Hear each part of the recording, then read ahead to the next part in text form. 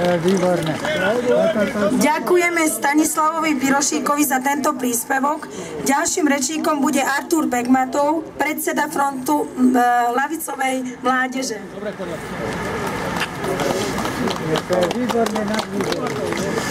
Želám vám pekný, aj keď trošku chladný a usmoklený deň, milí priatelia. Ja ako mladý človek, ako predseda združenia, ktoré zoskupuje mladých ľavičiarov, som veľmi rád, že jeden z mojich predrečníkov, Jozef Hrlička, si spomenul na skutočný význam 17. novembra. Už to spomínal, spomínal represie nacistov proti praským študentom. Jednou z ich obetí sa stal aj študent Jan Opletal a ja využívam túto príležitosť, aby som vás vyzval na minútu ticha za, na pamiatku Jana Opletala a ďalších študentov, ktorí zomreli počas nacistického teroru v protektoráte Čechy a Morava, ale aj u nás na Slovensku.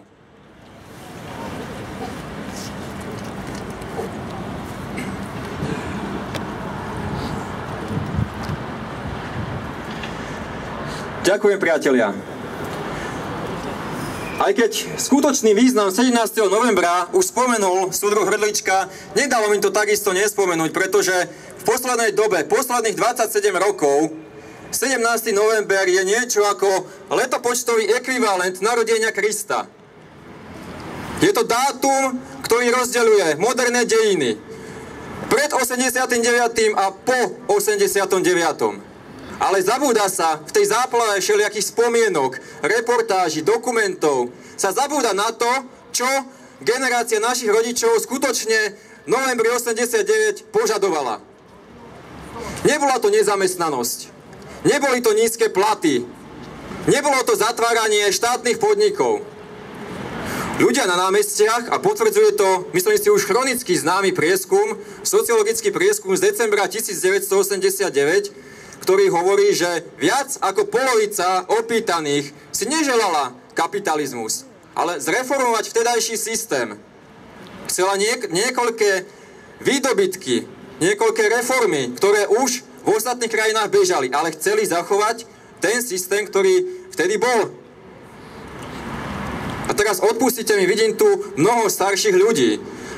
Určite máte na november 89 a ten ponovembrový vývoj iný pohľad, ale mne ako mladému človeku nedá nespomenúť ten vývoj optikou mladého človeka. Takže ako som povedal, väčšina národa chcela zreformovať vtedajší systém a dostali sme čo? Dostali sme skorumpovanú krajinu. Podľa prieskumu, ktorý vyšiel pred niekoľkými dňami, je Slovensko na šiestej priečke spomedzi krajín Európskej únie, čo do počtu úplatkov. Každý tretí mladý človek je dnes bez práce. Počujete dobre, každý tretí mladý človek. A to sú tam není započítaní tí, ktorí boli nútení odísť za prácou do zahraničia. Každý druhý človek, ktorý ešte nemal 30 rokov, žije alebo je nútený žiť so svojimi rodičmi. Toto vy starší, generácia našich rodičov, starších rodičov, môžete potvrdiť, že v minulom režime to nebolo. Dnes nadobudnúť vlastné bývanie je pre mladých ľudí takmer Neludská úloha. Nedá mi nespomenúť aj šport. Šport si dnes môžu dovoliť len deti rodičov, ktorí na to majú. Bujne v našej krajine nevymožiteľnosť práva. Pravdu má len ten, kto si ju môže dovoliť kúpiť. Nemusím spomínať zdravotníctvo. Zo zdravia sa stal tovar nemusím spomínať školstvo a tak ďalej. Takto by som mohol vymenovať ešte niekoľko, niekoľko desiatok minút.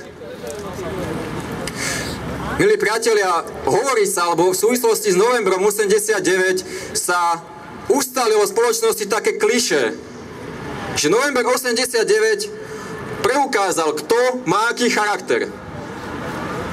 Povedal som, že je to kliše, ale tu musím zdôrazniť, že v podstate je to pravda. Komunistická strana Československa mala milión členov. A kde boli tí členovia? Mám na mysli hlavne tých členov ako pán Eduard Kukan, ako pán Miroslav Kusy, ktorí boli vrcholoví funkcionári. Pán Eduard Kukan bol vrcholový diplomat.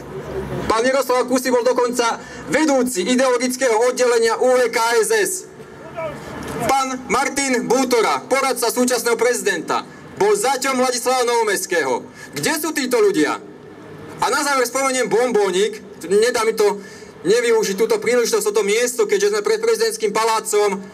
Otecko súčasného prezidenta Andreja Kisku, ktorý bol podpredseda okresného národného výboru v Poprade, mal v kompetencii otázky školstva a ateizmu. Bol to pán Kiska starší, ktorý dohľadal na dôsledné dodržiavanie ateizmu v okrese Poprad. Ale, ako spomenul súčasný prezident v rozhovore pre SME, bol to ten istý pán Kiska starší, ktorý vo svojich deťoch utužoval ducha kresťanských Vianoc, ktorý ich doma viedol ku kresťanskému duchu.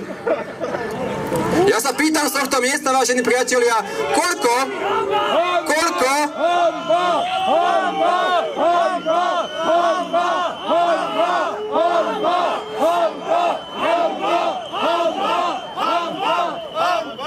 Ja sa pýtam, vážení priatelia, koľko trvalo takýmto ľuďom v novembri 89, kým si uvedomili, že nie sú tak vlastne komunisti, ale skôr demokrati. Deň? Dva? Ja si myslím, že týždeň, priatelia, pretože presne toľko trvalo pánovi prezidentovi, kým si uvedomil, že vlastne ani tak nepodporuje Hillary Clintonovú v amerických voľbách, ale pána Trumpa. Presne týždeň trvalo, kým mu zaslal veľmi, veľmi priateľský list.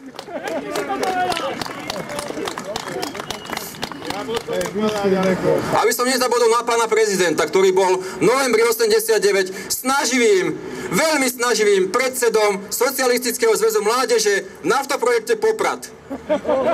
Teraz je z neho najväčší antikomunista o niekoľko hodín pôjde do Devína vzdávať hold obečiam komunistického režimu.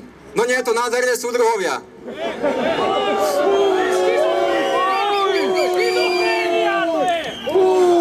Teda nehovorili len o ľuďoch, ktorí majú charakter krivý. Boli ľudia, ktorí v tejto strane zostali, ktorí ju budovali na novo, ktorí išli na námestia a utržili tie najväčšie úrážky, dokonca aj plúvance, ale zostali týmto ideám, za ktoré tu aj my dneska stojíme, zostali verní. To ste vy. A vám patrí najväčšia česť.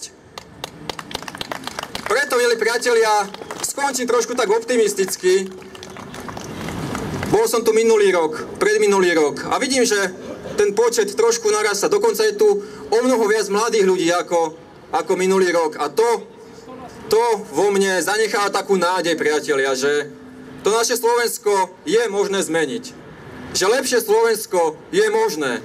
A s týmto, s týmto želaním alebo s týmto presvedčením sa s vami dnes rozlúčim. Ďakujem za pozornosť.